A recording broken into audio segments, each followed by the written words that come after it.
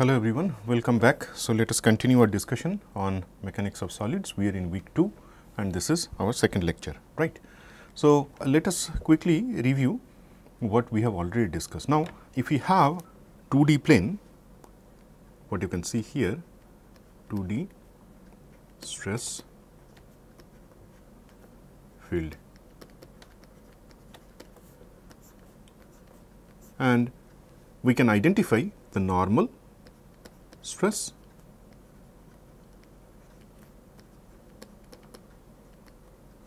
and shear stress.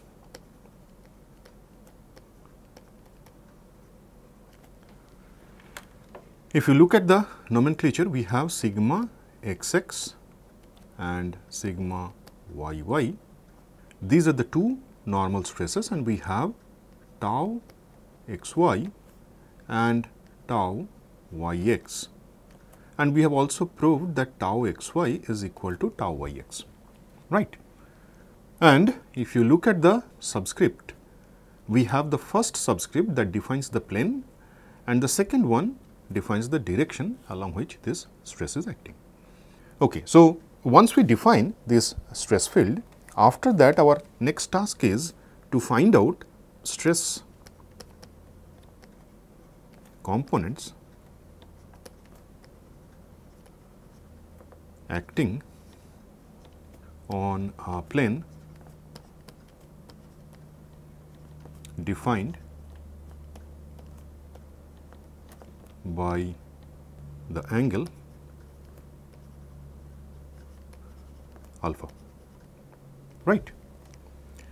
So, we have this plane and over this plane we will have a normal stress and we have a shear stress. So, this is sigma n and this is tau n. And we have also derived the expression for sigma n which is equal to sigma x x plus sigma y y by 2 then plus sigma x x minus sigma y y by 2 cos twice alpha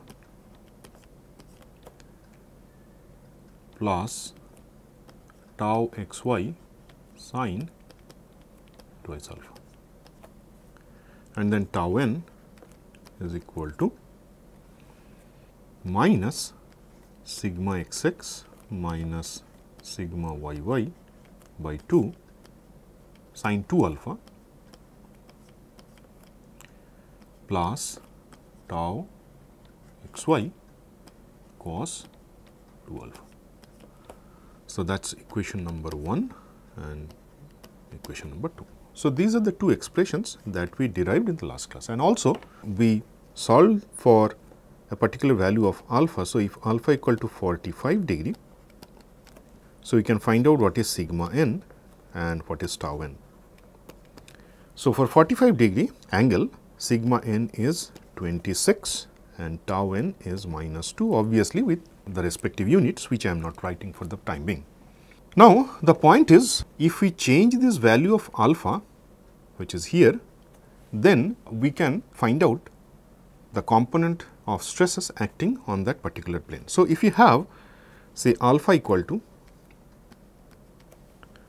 60 degree, right. So, cos 2 alpha will be equal to minus 0.5 and sine 2 alpha will be equal to 0.866. Then we can find out what is sigma n and what is tau n. The value of sigma n on this plane is 15.93 and the tau n if you estimate you will get minus 5.73. Similarly, we can find out if alpha equal to 30 degree, sigma n is equal to 37.59 and then tau n is equal to 5.93. if alpha equal to 75 degree, sigma n is equal to 6.41 and tau n is equal to minus 7.93. So, I leave this as a home task, you please verify whether you get these values.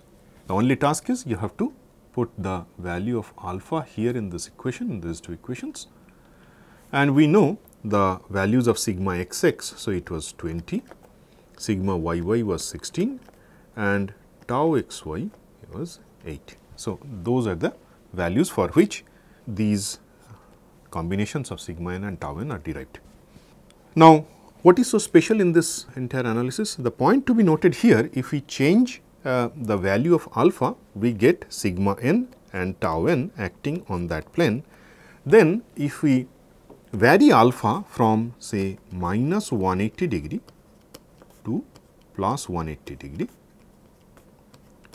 then what we will get? We will get the complete combination of sigma n and tau n, right.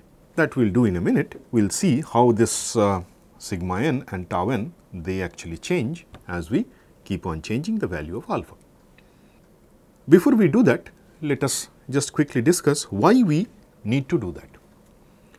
Just imagine you as a designer, you design a structure, then obviously because of the external forces acting on that structure at a particular plane, you will have sigma n and tau n, right. If you take the example of a beam which is simply supported and if you apply a load at the middle, then obviously the beam will bend and then if you go to every section, obviously every section will have some normal and shear stress.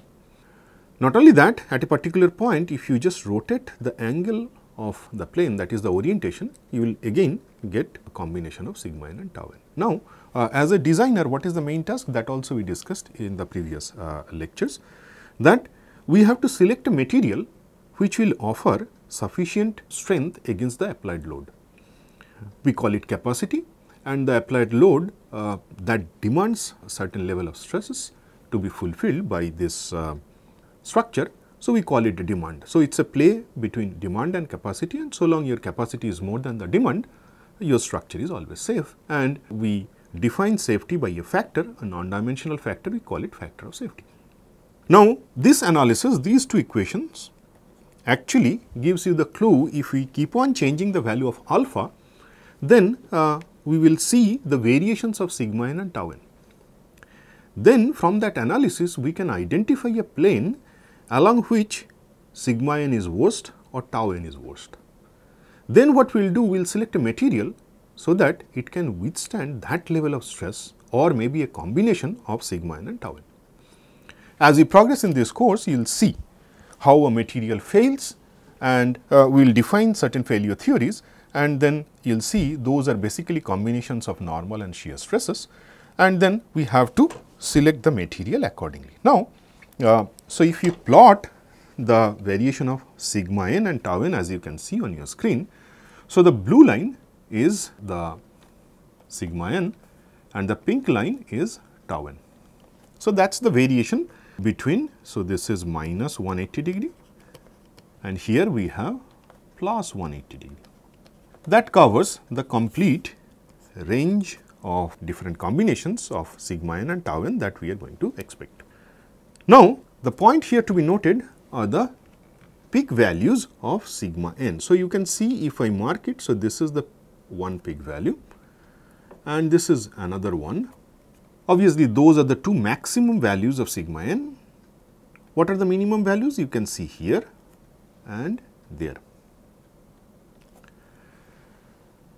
Now, if you consider any arbitrary plane, say this is the plane we consider for a value of alpha. So, if I mark it here, this is the value of alpha, say alpha star, for which we can identify the value of sigma n and tau n. And as we keep on changing alpha from minus 180 to plus 180, we get the complete variation and not only that the point to be noted here is corresponding to this maximum sigma n if you mark. So, you get a point where tau n is 0. Here also if you mark the same point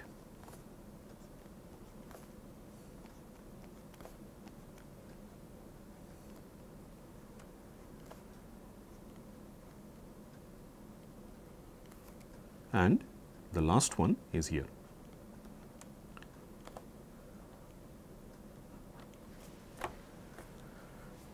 So, the most interesting thing is for every alpha there is a combination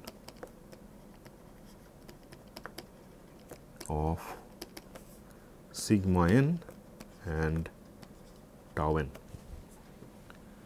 That is the first point to be noted. Second point is where sigma n is maximum, tau n is equal to 0.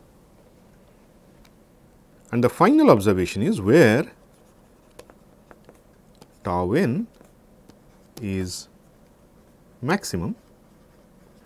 Let us quickly identify say for example, here then here then obviously here and for all of them you see if I take say this example. So, we have this is the point we have a value of sigma n.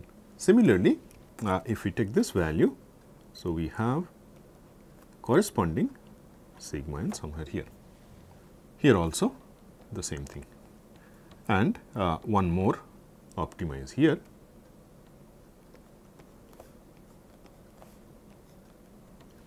So, this is the point.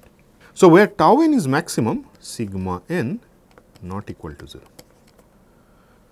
Now, these two observations are extremely important always remember the plane on which sigma n is maximum. So, you can identify. So, this is the plane here is the alpha value somewhere close to minus 150. So, we have to exactly find out we will do that um, as we progress in this course maybe uh, minus 140. Similarly, we get somewhere here maybe 40 exact value we will figure out, but these are the planes where sigma n is maximum they are important for design. Along these planes, we have only normal stress acting and that is the maximum value of normal stress. So, if you select a material, we need to identify this maximum value of normal stress the material can withstand. So, we can find out from our analysis what is the maximum level of uh, sigma n that we expect and accordingly we can take a call. Now, for the other case if we come here obviously where tau n is maximum sigma n is not equal to 0 and therefore, we have to make a combination of sigma n and tau n. We have to consider both. We cannot just uh, separate out tau n just because it is maximum because that particular plane will always have an associated value of sigma n.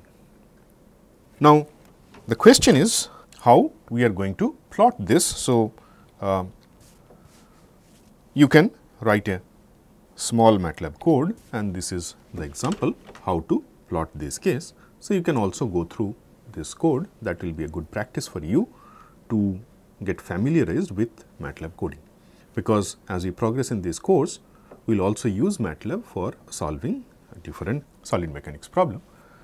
Now, the question that comes in our mind now is if we combine, if we combine sigma n and tau n and derive single equation to to model the variation of stresses, we get the complete info for design. So, here we have sigma n and tau n both of them they are basically function of you see sigma x x, sigma y y, tau x y and alpha right. And therefore, most likely we can combine them and have one equation where if we look at alpha then from that uh, we get the behavior of sigma n and tau n how they actually change their values as we keep on changing alpha. So, that is a task which we will do in the next class and we will see how we can actually combine them and using a single plot we can solve uh, this problem and we will also quantify the angle of the plane where this sigma n is maximum and where tau n is also maximum. So, these are the tasks that we will take up in our next class in this series. Um, in the meantime, what I will suggest that uh, for different values of alpha, the task I have given to you, you please solve the expression and find out the value of sigma n and tau n acting at plane defined by this angle. So, sigma n tau n acting at an angle alpha that you derive for different values of alpha and make sure that you also get those values. With that, let us close here. We will continue in our next class. Thank you very much.